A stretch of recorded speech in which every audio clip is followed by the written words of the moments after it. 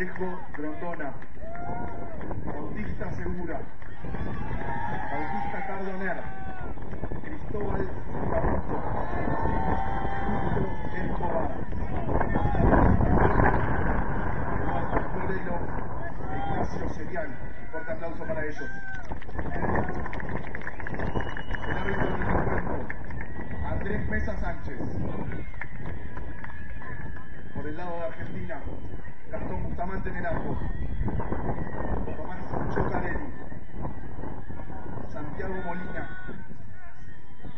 la Torre, Tomás Javier, Ezequiel Amuy, Juan Bianchi, Natán y Diego Pereira de Aula. Un fuerte aplauso para Argentina, un fuerte aplauso para Argentina.